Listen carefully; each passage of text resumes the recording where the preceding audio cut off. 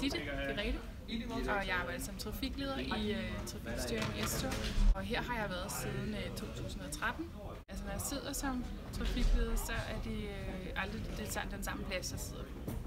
Uh, man kan sige, at min funktion er lidt den samme, men vi sidder sådan på forskellige uh, pladser og har et stykke af S-banen, hvor vi sidder og uh, kontrollerer og har ansvaret for det.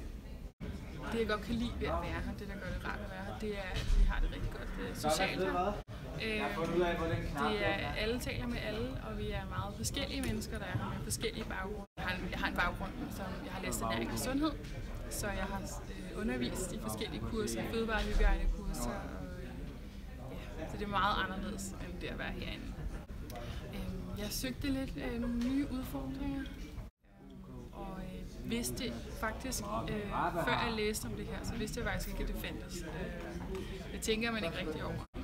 Det jeg godt kan lide, det er udfordringen i, at den lige pludselig bare går rigtig stærkt, og man skal øh, reagere meget hurtigt, og bliver, bliver udfordret i, at du skal øh, ja, bruge den viden, du har fået i uddannelsen til at øh, sætte sammen på en måde og øh, bruge i praksis